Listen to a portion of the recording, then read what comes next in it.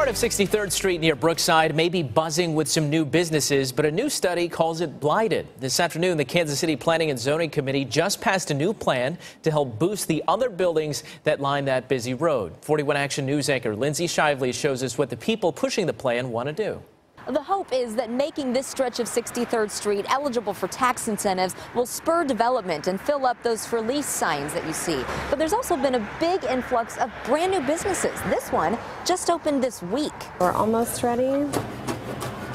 Five years ago, nobody would have even thought to think about this space or this whole block. But now Robin Kraus couldn't think of a better place to open her un-bakery. It is raw. It's in the rawest form. A little like her building used to be, raw and full of potential. It was just such a great building. She's the new kid on a block that just started bustling from a booming bakery, a new event center, new construction next door, and signs of what's coming soon. I'm really happy to see that more and more businesses are popping up around here, especially the further east we go. I see it hitting Troost and spreading. But big buildings like this one still sit mostly empty. And the 63rd Street corridor has long, long been neglected and long, long been vacant. It has 65% vacancy at this point. Those vacancies are part of the reason a new study calls 63rd Street between Oak and Troost blighted, making it eligible for this tax abatement program. Butch Rigby, who owns buildings in this area, says without it, the vacancies won't go away.